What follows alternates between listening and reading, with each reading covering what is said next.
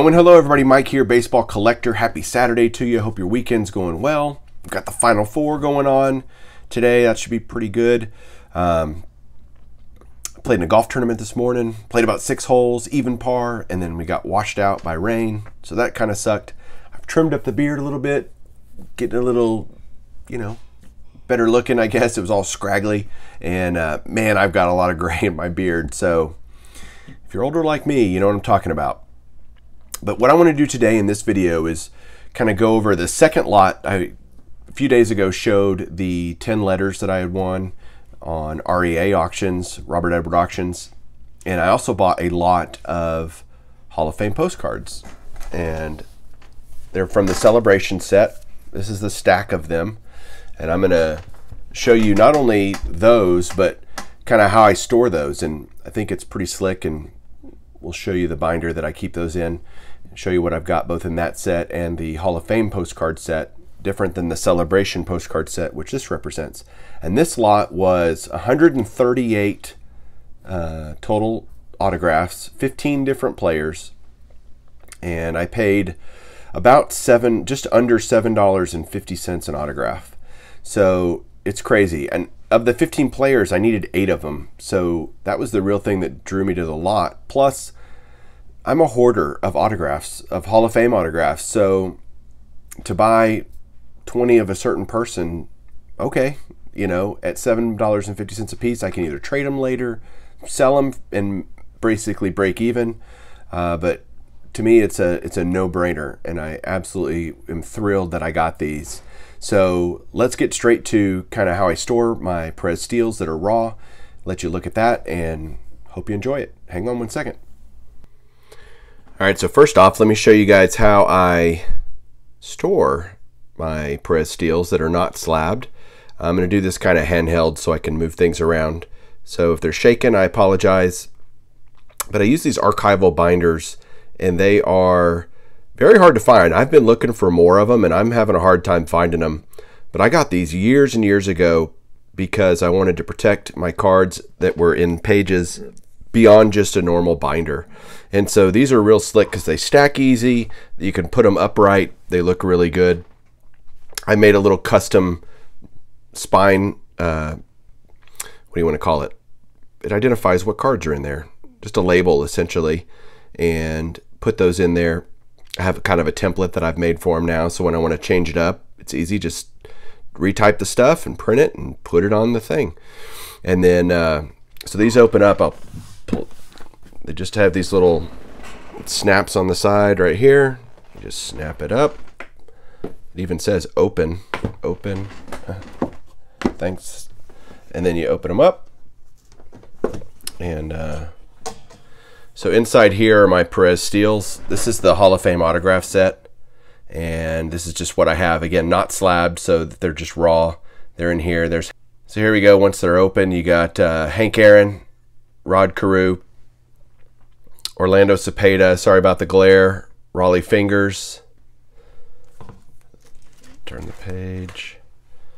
You've got uh, Bob Gibson, Lefty Gomez, Carl Hubbell, and Travis Jackson, who's actually a kind of hard one to find.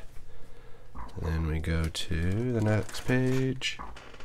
There's Fergie, Al Kaline. Now look at the difference between the Fergie signature and the Al Kaline signature. You notice the fading on the Kaline. So I got a bunch of these in a lot that have that problem that they were just faded autographs for whatever reason. Who knows how they were stored? Were they in sunlight? I can't tell you. But the Fergie's so much more bold. Age certainly could also be a part of it. The quality of the marker that was used. All sorts of reasons why that could be that way. Juan Marichal there. Beautiful Willie Mays.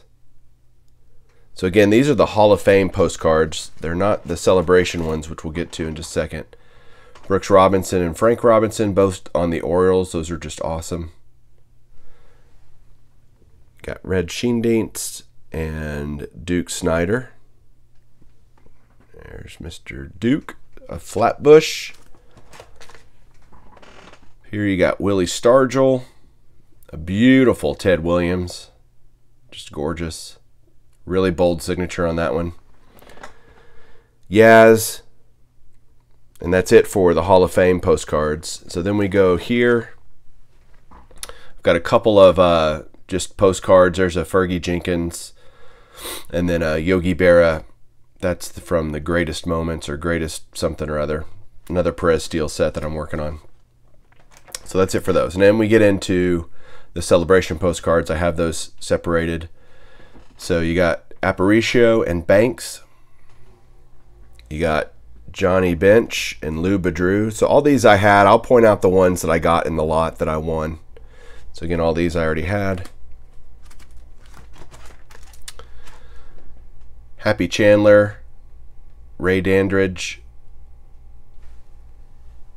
Bill Dickey I actually needed in this set, so he was a new one that I got along with several dupes, which we'll see in a second. Up here is Rick Ferrell, and the Billy Herman I needed, so I did not have that one, so that's good. Add that. I needed the Catfish Hunter, so I got one of him, and then Monte Irvin there on the right. These are just beautiful signed. I mean, the art's great. Um, all of it just screams for a Hall of Fame autograph collector like myself. It's just perfect. George Kell, Ralph Kiner, already had those. Bob Lemon. Buck Leonard, I actually needed. I didn't have him. Uh, great Negro League player. And I ended up getting a few Buck Leonards, which you'll see in a second. Eddie Mathews and Johnny Mize. The Mize uh, I already had. So did I. Ha I also had the Mathews. The Pee Wee Reese I did not have. So that was a new one. And the Brooks Robinson I already had. But so cool. Look at the bunting on the, the Brooks Robinson. And you can see they're playing the Pirates down here. Let me show you. So that's from the World Series. So cool. Very slick, huh? I think so. That just got really bright. Okay. Oh, see, I got paint on my hand. Been painting with my wife. All right, Joe Sewell up here at the top. Focus, please. Focus. There we go. Uh, Joe Sewell, I did not have. Duke Snider, I did not have. What's cool about this Duke Snider is he's got a full name signature, which is great. And at the bottom, you can see he's celebrating after a home run with, I think Pee Wee Reese was number one, and 39 was Roy Campanella. So that's really cool that he added that Dick Perez added that shot as his action shot. Warren Spahn and Billy Williams, I already had. And then the last one is Carl Yastrzemski, which I did not have. So that was a great ad. Yastrzemski's kind of expensive. And then in this binder, I also keep a bunch of just other kind of bigger cards. Like here are some exhibits cards that are signed. There's Stan Musial. Richie Ashburn, Phil Rizzuto, and Red Ruffing.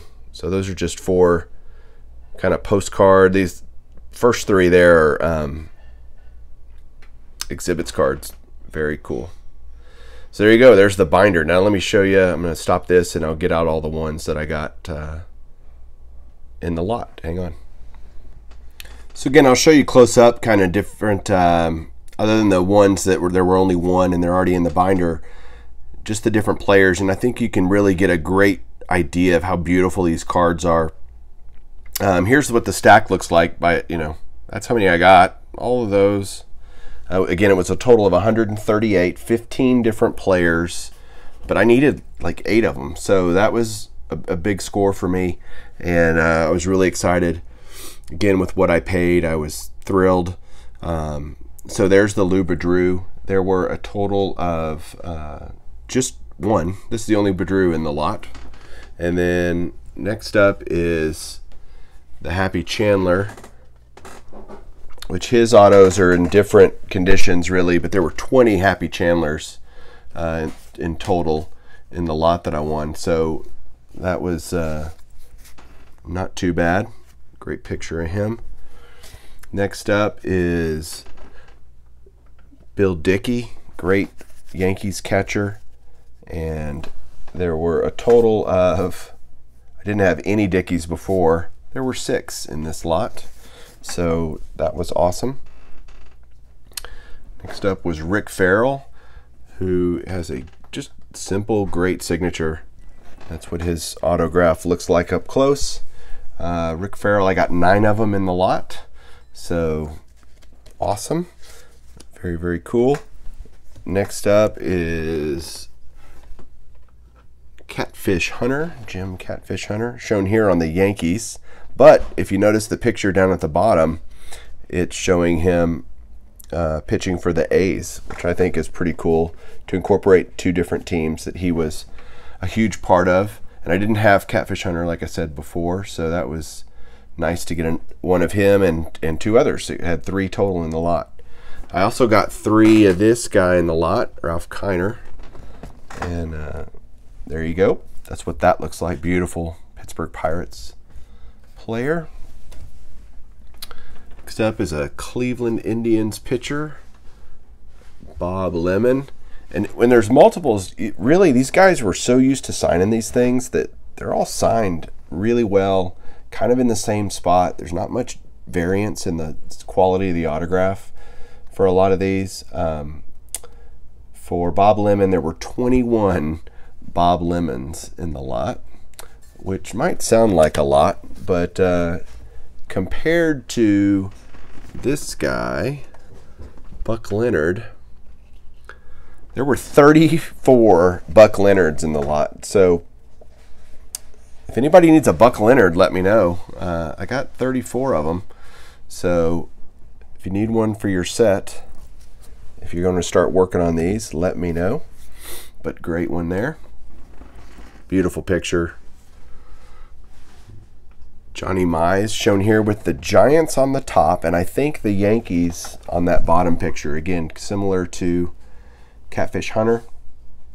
There were only two Mizes in the lot. And then the next one is Dodger Great here. Um, if I can get it off the pile.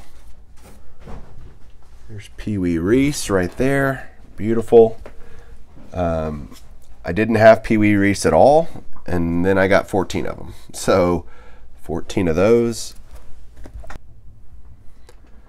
Next up here is Joe Sewell, and this for the Chicago White Sox, and I got 12 Joe Sewells in the lot. So needed one before, don't need one now. The last two players, first one is Cub Great Billy Williams. There were four of those in the lot.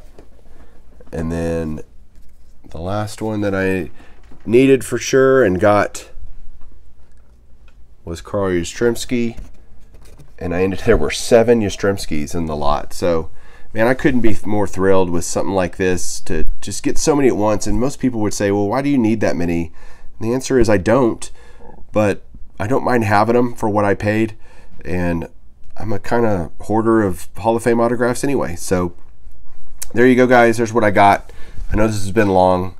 Hope you enjoyed it. Let me know what you think. We'll talk to you soon and keep collecting.